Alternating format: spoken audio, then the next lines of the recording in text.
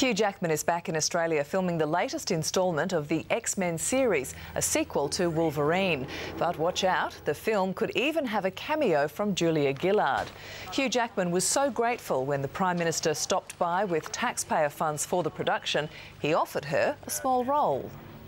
She really is very handy with the sword and with the nunchuckers. Filming of the movie starts in Sydney next week. Ah, revealed the PM secret talent. She might already have used that. she might have. Now, Walt's got the sport now. Thanks, Loft.